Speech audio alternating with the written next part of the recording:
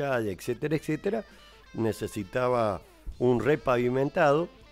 El intendente lo creyó conveniente, eh, consiguió los recursos, hizo gestiones ante la provincia y un convenio con el Ministerio de Infraestructura, eh, que ya tenemos todo listo y está el llamado a licitación para el 22 de mayo, el municipio va a repavimentar. Pero hemos convocado a los vecinos de Medrano para explicarles cómo es el proyecto y además para solicitarles que sea reembolsable en un tercio aproximadamente, y ese tercio, en el orden del millón y medio repartido entre los vecinos, que aproximadamente por frente estamos hablando en el orden de los 6 mil pesos, muy parecido a lo que tenemos para, para la zona rural, eh, con la aprobación de los vecinos, por supuesto, tiene que haber un 60%, tiene que ir al Consejo Deliberante, con ese goteo en el orden de los 100 pesos mensuales, a través firmaremos un convenio para que esto lo cobre la Unión Vecinal del Agua, eh, podamos em, desarrollar un proyecto de embellecimiento que nos encargó el señor Intendente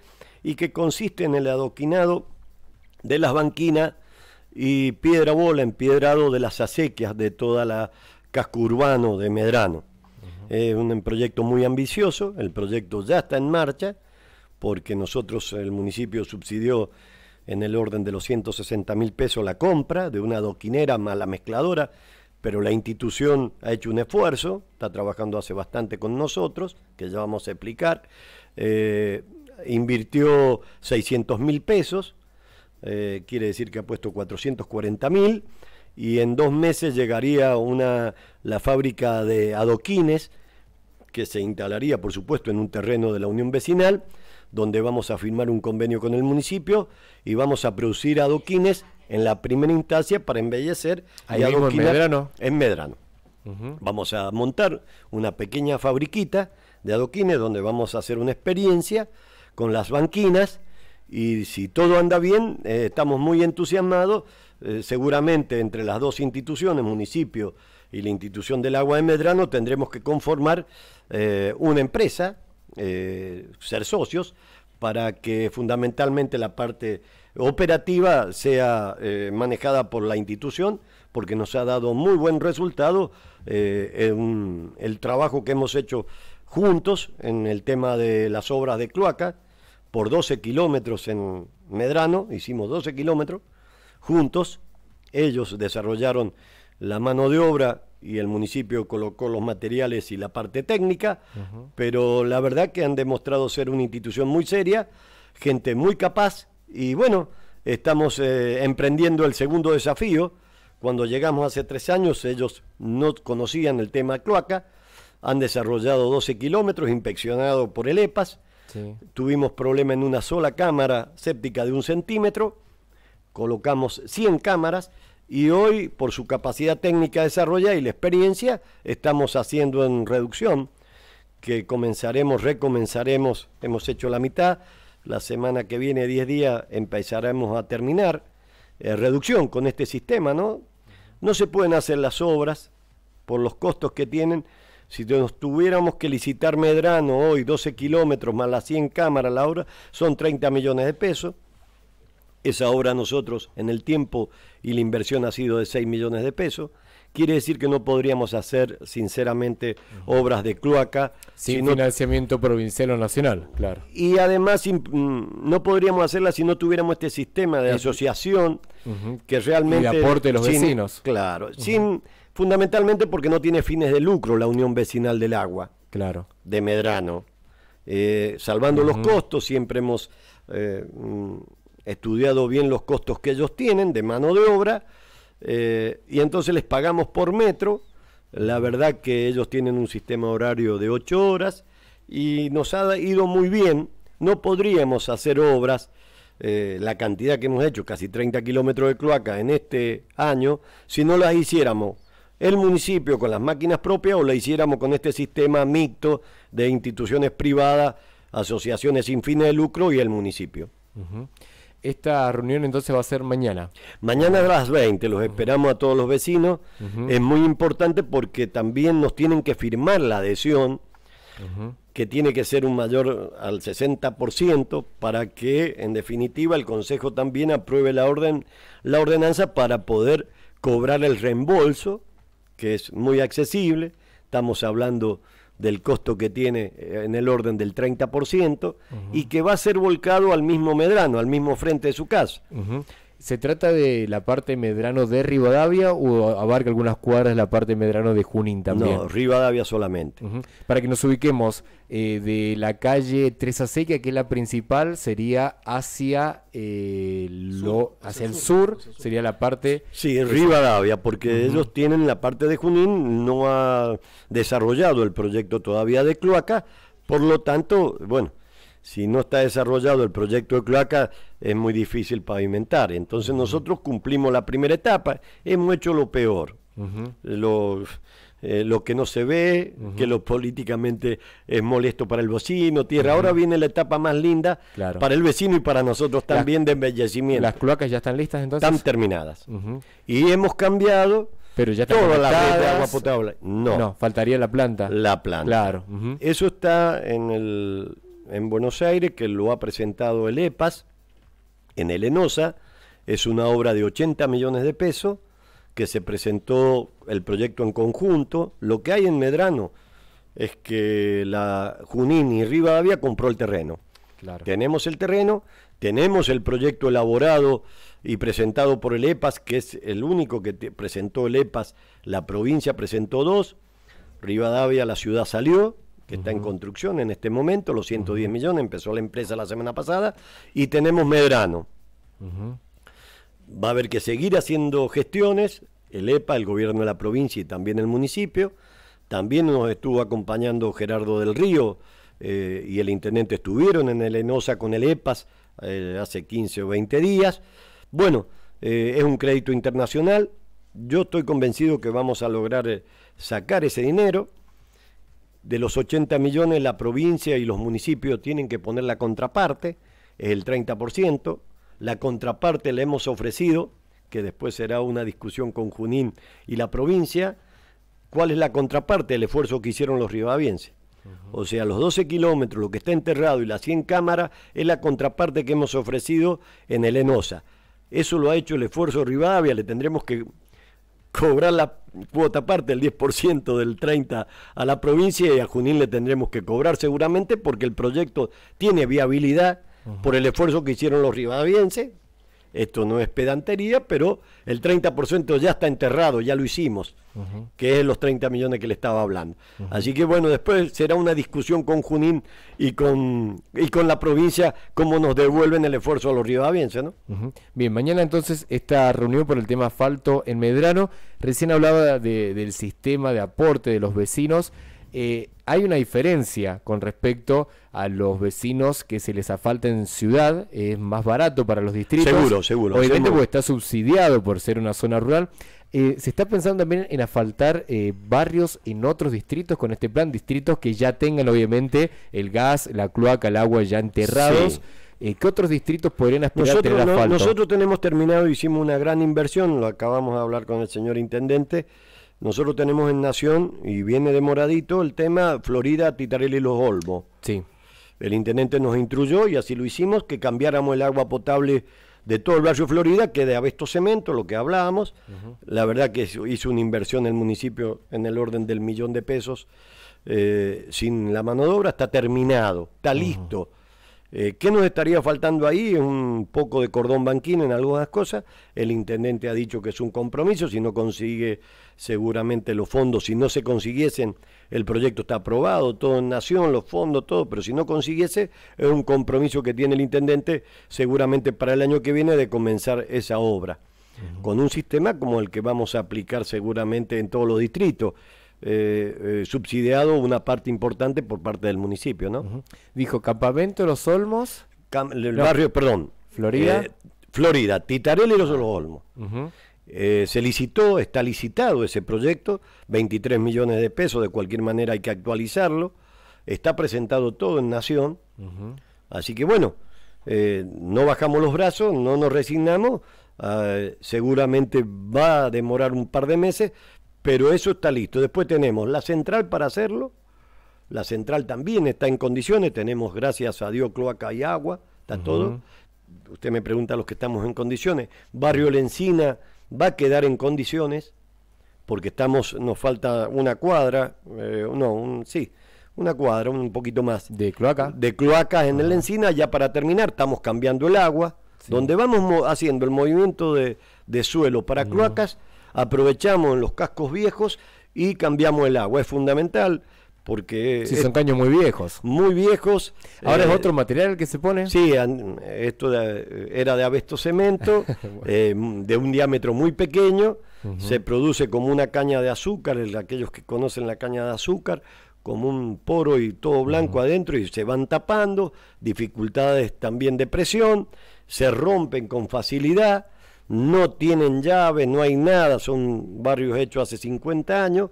La verdad que lo vamos modificando, vamos cambiando las conexiones a ¿Y ¿Qué se pone ahora? Eh, PVC. PVC. Sí, la verdad que. También con llaves cada cuadro. Todo, todo, todo, todo sistematizado, todo para que cuando se corta, por ejemplo, el barrio La Encina, eh, no hay. Hay una rotura, tenemos que dejar las dos escuelas sin agua. La calle Los Guindos se queda sin agua con la escuela respectiva, se quedan los centros de salud, se quedan, se queda todo el mundo, las mil familias 700 mm, son, que tienen en el barrio La Encina se quedan sin agua. Tenemos que cortar directamente el pozo.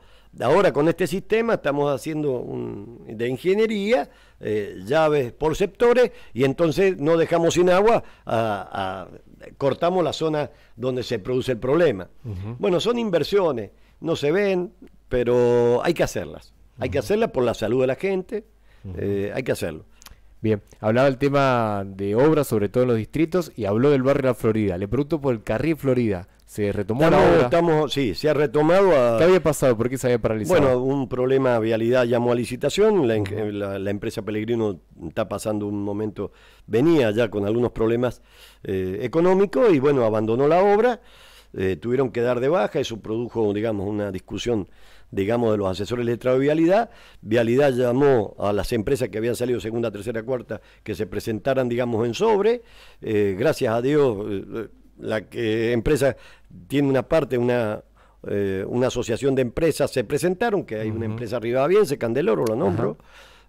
Candeloro había comprado con mucho esfuerzo su máquina, su fábrica de asfalto la instaló en la Ripiera, en, Rivadavia, con gran esfuerzo, hay que irla a ver, invito a los ribavenses, me va a matar la familia Candeloro, yo estoy invitando a los vecinos, pero bueno, yo saludo y festejo ¿Dónde, está? la inversión, el camino hacia Ceferino, ah, en la Ripiera. En la Ripiera, ahí mismo han puesto su propia fábrica de... Sí, eh, para producir, ellos lo compraban a empresas privadas, eh, tenían problemas. Bueno, pero está bueno para el desarrollo muy bueno, también. Muy bueno, y nos sentimos nosotros muy halagados porque parte de los ribavienses con las licitaciones, las ganó siempre obras en licitaciones. En Rivadavia el año pasado construyó tres etapas, hizo dos o tres etapas de Candeloro. Nos sentimos mm, muy halagados que una empresa de Rivadavia pueda desarrollarse. Eso genera mano de obra para los ribavienses. Y tomó el carril Florida por lo tanto, viene a un ritmo mm, muy bueno, muy rápido. Eh, nos llamó, le llamó al intendente, el director y el presidente de, Vialidad. Eh, la verdad, asombrado por el ritmo que trae. Yo he hablado con Joselo. Eh, Joselo nos prometió que para el 25 de mayo estaba terminado. Yo le dije, ¿Lo inaugura el gobernador? Pero no, no se hace el 25 de mayo. ¿sí? Ah, bien. Hacemos el acto Sí. Que íbamos a hacer el 25, se lo pidió el gobernador al intendente, se lo pidió porque había otro acto ya programado en la capital, creo, le llamó el gobernador al intendente, nos pidió que hiciéramos el acto de inauguración del carril Florida más la obra en el barrio La Encina el 9 de julio, con un pequeño desfile, con una linda fiesta, así que el 9 de julio vamos a hacer el acto provincial del 9 de julio, va a ser con las inauguraciones de estas dos obras. ¿Cuál es la obra? Pero en Carril Florida y... el barrio Lencina, el embellecimiento de los dos costados sur y norte del barrio Lencina. Hacemos el acto central con un pequeño desfile. Va a haber un, va a ser el acto provincial en el barrio Lencina. Y sobre el Carril Florida. Bueno, para aprovechar las dos cosas. Las dos cosas.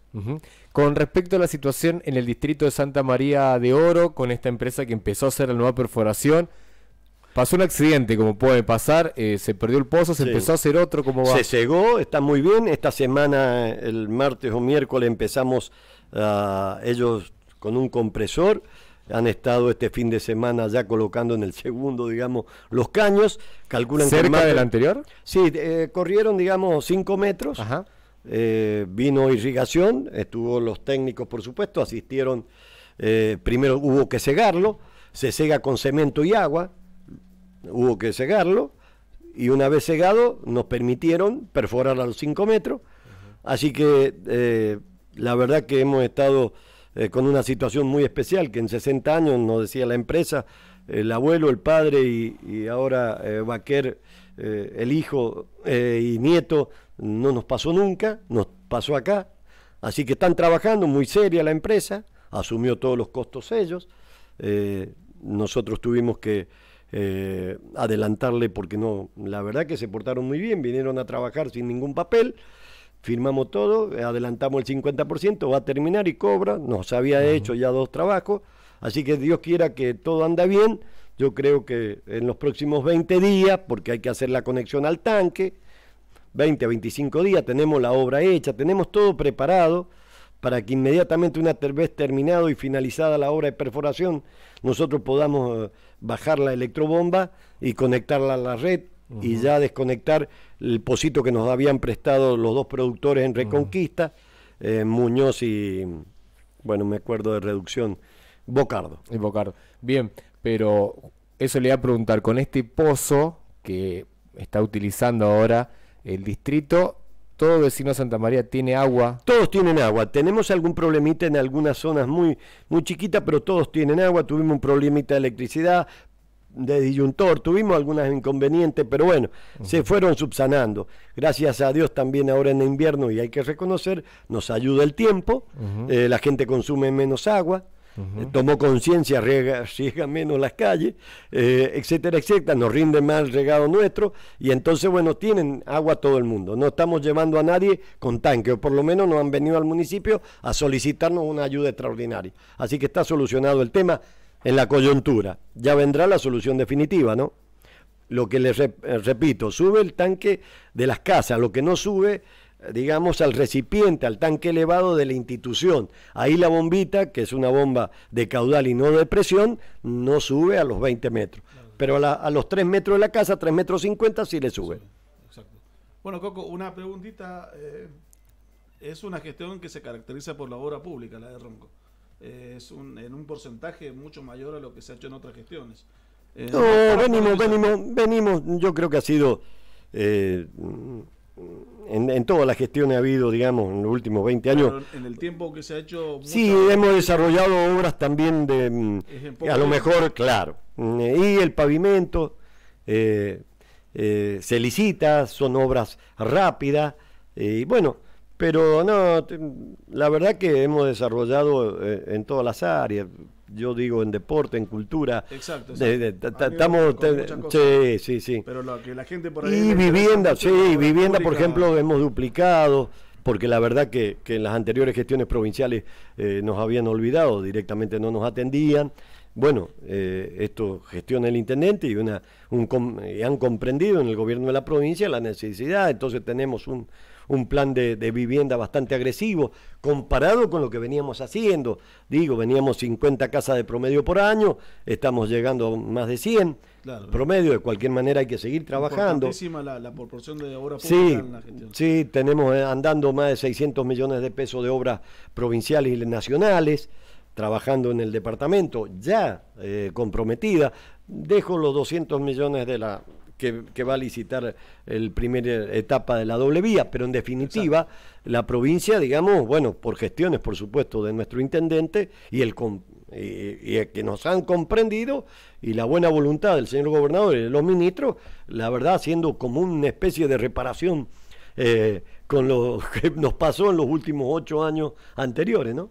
Coco, una preguntita con respecto, uh, disculpame, Sí, sí, sí. Eh, eh, dos cositas son. La luz de LEDs, que sería importantísimo para el ahorro, eso es claro.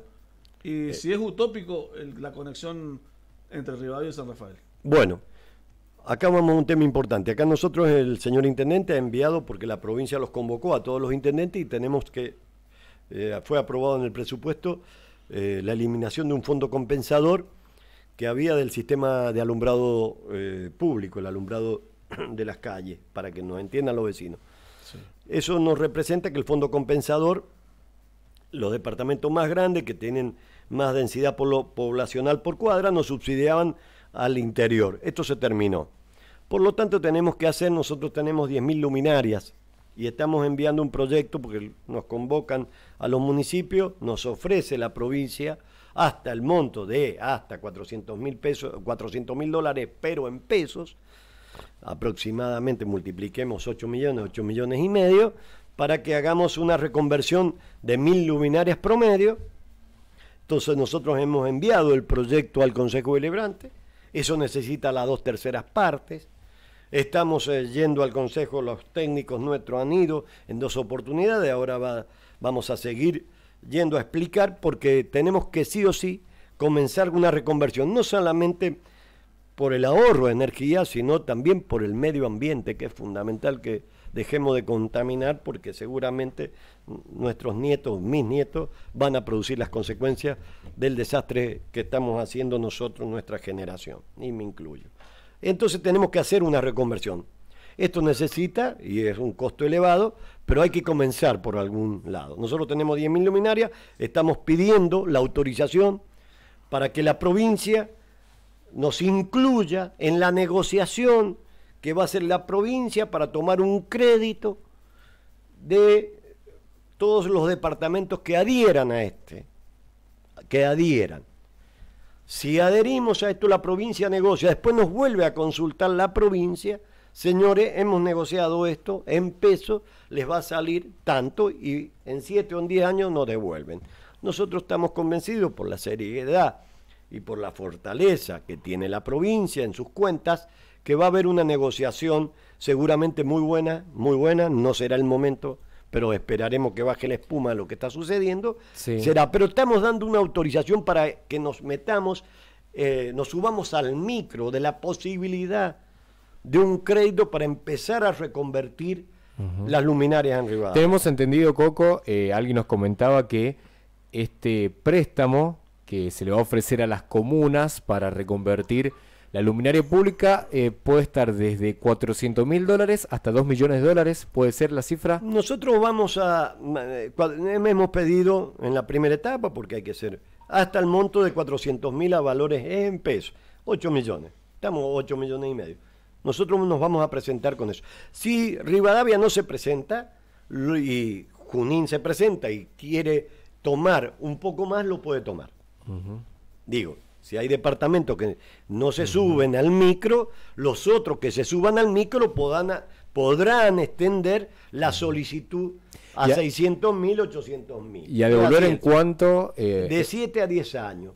¿Está la, la, comuna en condiciones de tomar ese crédito? Por supuesto, por supuesto, porque nosotros tenemos eh, muy poquito endeudamiento, casi, casi nada. Ahora, eh, ese endeudamiento lo tendría que aprobar el Consejo Librante Rivadavia. Por supuesto, estamos en discusión, necesitamos las dos terceras partes, necesitamos que comprendan, son siete de la totalidad, son diez concejales, la totalidad. Es decir, que los diez concejales, siete tienen que votar a favor de este crédito. Exacto, descartamos por supuesto que el oficialismo va a acompañar, somos seis, tendremos que persuadir, convencer, explicarle eh, y que comprendan la realidad eh, de la necesidad. ¿Por qué les digo? Porque nosotros el año que viene vamos a tener un déficit eh, que lo va a tener que afrontar el municipio con sus propias cuentas en el orden de los 10 o 12 millones de pesos anuales de alumbrado público que no lo pagábamos, que no lo teníamos. O sea que le vamos a tener que sacar a nuestro presupuesto 10 o 12 millones que seguramente serán menos obra menos deporte, menos cultura para nuestro departamento para pagar el alumbrado público. Por lo tanto, estamos pidiéndoles que empecemos a reconvertir el 10% de las 10.000.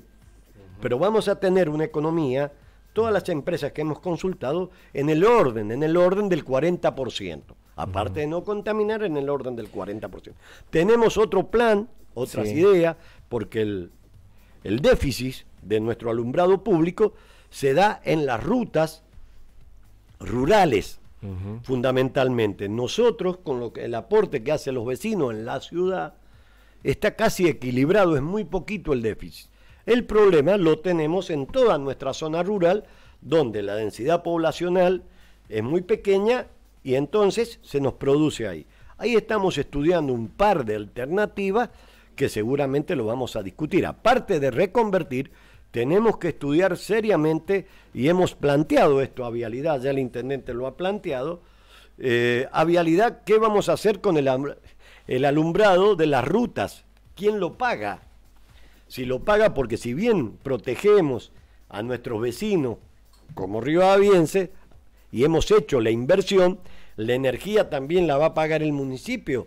Yo quiero saber y que haya equidad qué pasa con las rutas eh, provinciales eh, que están alrededor de la ciudad. Yo, si Vialidad paga el alumbrado de las rutas provinciales, los corredores, digamos, alrededor del Gran Mendoza, vamos a pedir lo mismo nosotros, que haya una cuestión de equilibrio. Así que en esto es una pelea que vamos a tener que dar con, también con vialidad provincial, entre todos, o que nos ayuden a reconvertir o tendremos que tomar algunas medidas porque la verdad que es muy importante el déficit del alumbrado, del alumbrado, ¿no? Bien, vamos a aprovechar la visita de Jorge Coco Carballo, jefe de gabinete de la Municipalidad de Rivadavia, para conocer también inquietudes de los distintos vecinos del departamento. Pueden dejar su consulta, su queja al 2634 62 39 69. Repetimos, 2634 62 39 69. Nos llega un mensaje de una vecina del barrio Lencinas que nos consulta sobre que va a ser eh, arreglos que han quedado luego del asfalto en el barrio. Dice que ha quedado un pozo muy grande en el ingreso al barrio Sagrada Familia, también rotura de caños de gas frente a la escuela. Después que se hizo la obra de asfalto, se hacen ahora algunos arreglos porque plantean que ha quedado algunos problemas en la zona. Bueno, lo, seguramente hay que terminarlo antes. Todo lo que sea sobre el carril Florida eh, tiene que ser antes de que pase el asfalto. Seguramente lo tendremos que ver. Tomo nota para, para, para hacer una, una, visita y observar eso. Lo del Barrio de la escuela. Sí, sí, sí. Lo del, lo del pozo de la. Lo de, no sabía lo de la escuela. El, Pero tenemos que, bueno, por supuesto, dejar todo en condiciones, ¿no? Bien. Lo invito a colocarse los auriculares, el retorno, porque ha llegado también para escuchar. Eh, también una duda por parte de uno de los oyentes de Ciudad FM. Lo escuchamos. Hola, buen día. Eh, mira, vos sabés que queríamos hacer acá un reclamo. Me manifiesto en nombre de, la mayoría de los comerciantes. Eh, bueno, ahí va de vuelta. ¿Se cortó? Sí, sí, ahí va de vuelta. Ah. Hola, buen día. Eh, mira, vos sabés que queríamos hacer acá un reclamo.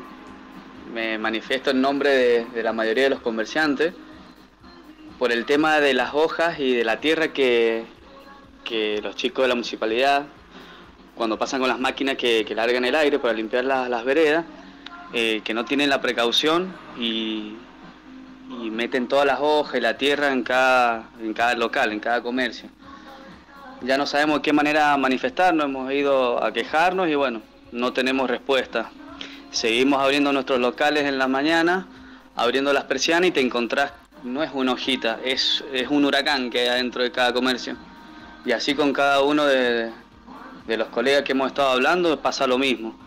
Eh, nada, se me ocurrió por el medio de la radio de Ciudad, así que espero que, que podamos tener una respuesta o una solución. Que tengan un buen día y, esperamos respuesta. Bueno, Coco, eh, me parece bastante sentido común, me voy a comunicar seguramente el, el director de servicio. Creo que hay que hacerlo en la posición inversa. Habrá que tomar desde la puerta del hacia la calle eh, con la sopladora. Claro, justo estamos en otoño, ese es el tema. Está bien. Y se suma también que tenemos el peor momento de hoja y del momento, pero de cualquier manera lo voy a hacer llegar al reclamo inmediatamente cuando terminemos con Fernando. Lo llamaremos al director para que haga una reunión con los chicos que trabajan de la municipalidad alrededor del centro, ¿no? Que trabajan con el osito que se le llama. Y bueno, y que tengamos la precaución de la sopladora de hacerlo en sentido inverso, no hacia la vereda, sino de la vereda hacia la calle. Me parece, pero bueno. Sí, para... me lo, me, tomo la inquietud y la, la, transmito inmediatamente que salga de acá. Bien, eh, ¿cómo está el tema? Recién hablaba de obras de cloacas, eh, me quedó el tintero preguntarle la famosa obra de cloacas de la zona este de la ciudad de Rivadavia, eh, ¿qué avances han habido? Nosotros tenemos todo listo. ahí tenemos convenios que no que se firmó en la anterior gestión con, con Paco Pérez, lo que no está el financiamiento. ¿Cuál era? Es que el, Aizán tenía que hacer el aporte eh, en materiales y nosotros en mano de obra. La primera etapa se firmaron tres convenios. El primer convenio fue cumplido, que fue sobre calle Avellaneda y una parte sobre la calle Arenales, del, acueducto, del, del, nexo que le dicen, pero bueno, no, no, es acueducto, es el nexo. En Cloaca no tiene nombre. Yo lo tengo, pero no lo voy a decir públicamente cómo se dice. ¿Cómo se dice? Sí, bueno. Eh, gasoducto, acueducto. Cuando van en las cloacas no tiene nombre, es nexo. El nexo. Bueno, el nexo. Eh, después la segunda etapa era los barrios, la, la obra terciaria. Ahí nosotros tenemos que colocar la mano de obra. Nosotros, y el intendente ha vuelto a hacer una compra con Chino y con, con las máquinas que llegaron de China, nosotros tenemos la maquinaria necesaria. Hemos estado hablando con Gerardo del Río. Uh nos tiene que traer los materiales. Eh, nosotros eh, le hemos dicho que, bueno, que no sea todo junto, que no, no, no, no pretendemos, no pretendemos, pero con tiempo, pues son obras que demoran, tediosas, eh, que lo hagamos por parte, que lo subdividamos a la segunda etapa y que vayan todos los meses trayéndonos y que nosotros estamos dispuestos cuando ellos tengan parte del material poner una cuadrilla, nosotros estamos teniendo una, dos, tres eh, cuadrillas trabajando permanentemente en agua y cloaca, con tres máquinas, con eh, sus técnicos, su capataz, son cuadrillas chicas, claro, cinco o seis personas, nada más, con el técnico que toma los niveles. Nosotros estamos en condiciones de comenzar una vez que Aizán nos diga, empecemos eh, con materiales. Así que Gerardo está trabajando, bueno, por supuesto que hizo un aporte grandísimo en conseguirnos para los ribavienses esta obra de 104 millones que es la planta de líquidos cloacales, que sin ella esta obra no tendría sentido. Ahora tenemos que eh, hacerla. ¿Por qué? Porque ahora está en vamos a estar en un año y medio en condiciones de ir los líquidos. ¿Qué me dicen? Es una discusión que tenemos con Aizán. En La Paz, la gente se conectó antes que estuviera la planta y entonces se produjo un, desmadre total, salían los líquidos cloacales por las cámaras, no tenía dónde ir. Claro. Por las cámaras. Nosotros hemos hecho en Medrano y no se ha conectado nadie. De cualquier manera, yo tengo un sistema que nosotros dejamos en, en las cámaras para que entiendan, en las esquinas, dejamos sellado por las dudas la gente que se conecta por la desesperación inmediatamente se llena el caño de la, de la cuadra y se le vuelve para la casa, eh, dejando tapado. Nosotros tenemos, ellos tienen una mala experiencia también en Santa Rosa y lamentablemente cuando costó una vida humana de un joven, cuando fueron a romper el tapón, el gas, eh, bueno, también ahí hay... Eh, sí, hay que tener mucho cuidado en este tipo de Bueno, así que es una... Pero nosotros estamos en condiciones de, hacerlo y lo queremos hacer con tiempo, porque nos va a llevar tiempo. Entonces, eh, eh, la obra habría que comenzarla allá por pasando la primavera, porque eh, de a poco, así que llevemos el mismo ritmo. Una vez terminada la planta, nosotros tengamos toda la obra terciaria terminada.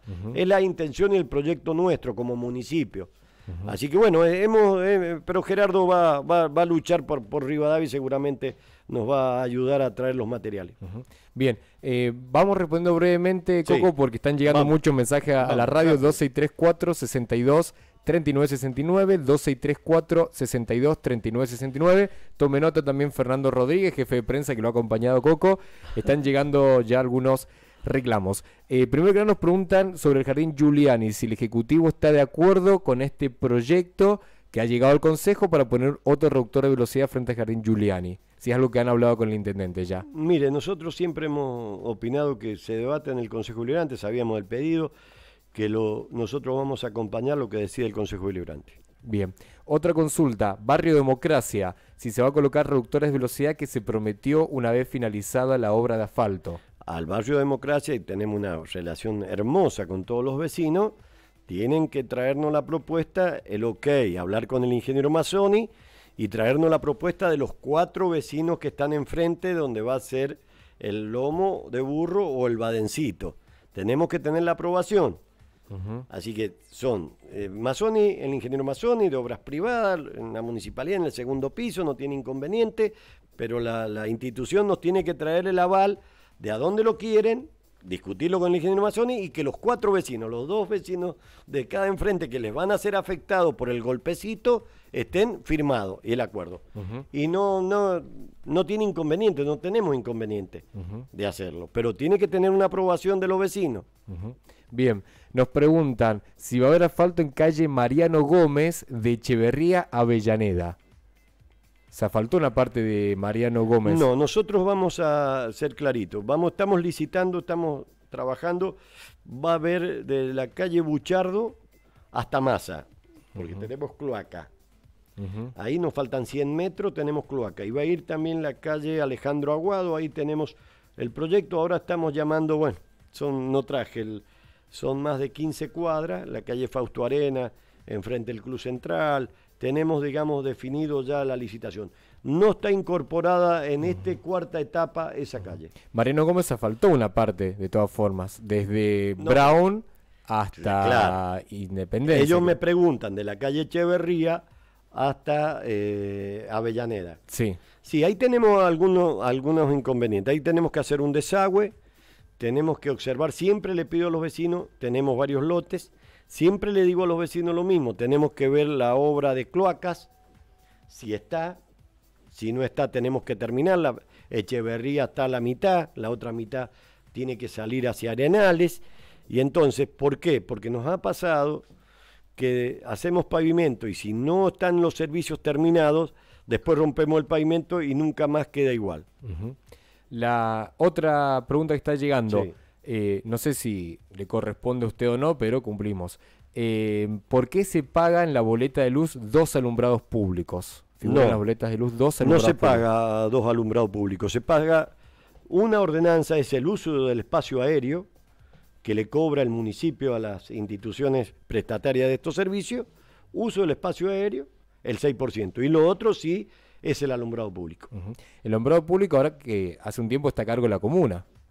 No, eso es respecto al mantenimiento. Al mantenimiento. El mantenimiento. Los únicos que nos hacen el mantenimiento de las tres cooperativas es la cooperativa de Madriano, que arreglamos, digamos, lo otro, lo otro lo hace el municipio con su propio personal, ¿no? El mantenimiento del alumbrado público. Bien. Eh, recién, bueno, hablando de alumbrado público, ya está listo en Marcial Pérez, el barrio Marcial Pérez. Bueno, eso parece, parece de día. Hace unas noches pasé, bueno, ha quedado de día. Bueno, eso es LEP, ¿eh? Eso fue con un trabajo y un crédito y gestiones hechas por Gerardo, por em, Javier Fornazari, de la Cooperativa Eléctrica, por atendida por también por el subsecretario de, Servicios, eh, el doctor Mema, y la verdad que van a una velocidad, un empréstito y, está quedando muy bien y también ha participado el municipio, pero hay que, eh, a los que digo, no conocemos o no tenemos conocimiento, yo los invito que vayamos a ver ya las, eh, esas zonas que están prendidas las LEP y lo importante que tenemos el proyecto este que está en discusión en el Consejo Librante para rápidamente hacer mil luminarias en Rivadavia, que tenemos el detalle, donde las vamos a hacer son caras, vamos a hacer donde menos vandalismo, empezaremos por donde menos vandalismo hay, eh, los barrios más, menos conflictivos, porque la verdad que nos está saliendo de 6 a 7, 8 mil pesos cada luminaria, eh, y entonces tenemos, y hay que pedirle a los hijos nuestros, por favor, y a los nietos, porque yo estoy ya más para, para abuelo que, que, para hijos, adolescentes, que por favor, por favor, no rompan, no, gastamos 3 millones de pesos en vandalismo, nos rompen 3 millones de pesos de luminarias por año. Bueno, eso va a cambiar ahora que ingresó a la legislatura provincial el proyecto que lo envió el gobernador de responsabilidad juvenil para que los padres paguen los daños producidos por los jóvenes menores de edad, ya que no se los puede meter preso a los vándalos menores de edad, que los padres paguen lo que el vandalismo de sus hijos. La última coca, sí. ya lo dejamos porque sabemos que está ocupado en la mañana. También se anunció algo muy importante para los vecinos de Santa María de Oro, que es el puente sobre calle Leniers. Un puente que siempre se hizo como se pudo, que se lo llevaba el sí, agua. hace muchos tiempos. La verdad que Se esto va a es hacer una un gestión ahora. muy buena. Gracias a Dios que lo tenemos eh, a Daniel Gargantini, que es un, un, un rivadaviense de ley, empleado municipal de muchos años, el ingeniero, que fue propuesto por Miguel Ronco para que se hiciera cargo de vialidad en la zona este. Y la verdad que, bueno, es un rivadaviense, por lo tanto ha luchado no solamente por el carril Florida, no solamente también por la ruta eh, que va a Seferino y también por este puente. Y comenzamos muy pronto, en los próximos 60 días, después de la veda, vamos a comenzar la obra juntos con vialidad desde Osan, pasando por Reducción, pasando por Libertad y llegando a Gargantini por Galignana y el barrio Rivadavia Cuyanita. Eso lo vamos a hacer en conjunto, donde Vialidad y, y Daniel Gargantini eh, ha conseguido, eh, también por gestiones también del intendente, 40 millones y el municipio pone 10. Vamos a hacer la obra junta, todo, todo el Estado. Ellos han comprado en China una reclamadora, la misma que hemos visto trabajar y moliendo en el carril Florida, Vialidad lo, lo ha comprado propio. Así que empezamos esa obra junta, estamos muy entusiasmados y la verdad que le agradecemos a Daniel Gargantini eh, todas las gestiones que está haciendo por nuestros caminos rurales y este puente que le da eh, ingreso a la calle Nueva Gila, a los productores, y fundamentalmente teníamos una escuela, pasaban los niños descalzos, se sacaban las zapatillas, la maestra para cruzar el puente, era bastante eh, traumático, así que bueno, bien, muy contento. Sí, algo ser importante para ese distrito y también una salida alternativa. también. Seguro, a la Bien, Ramón Manén. Exactamente. Bien, Coco, muy amable por el tiempo. Bueno, gracias a ustedes, muchas han quedado gracias. algunos mensajes que han estado llegando, se los vamos a pasar a Fer Rodríguez a Fer para, para que, que- nos agende. Sí, sí, los pase a los directores y nos tiren la oreja. Nos viene muy bien que nos tiren la oreja seguido los vecinos. Bien, gracias, Coco. Eh, Hasta luego. La palabra de Jorge Coco Carballo, jefe de gabinete de la Municipalidad de Rivadavia, contándonos de mañana la reunión con los vecinos de Medrano para empezar la obra de asfalto en dicho distrito y también confirmando que el 9 de julio, Día de la Independencia, se inaugura el asfalto del Carril Florida, el nuevo asfalto del Carril Florida y las obras de embellecimiento del barrio Lencinas con acto eh, provincial, desfile y toda la fanfaria para festejar ese día. 11 de la mañana, 8 minutos.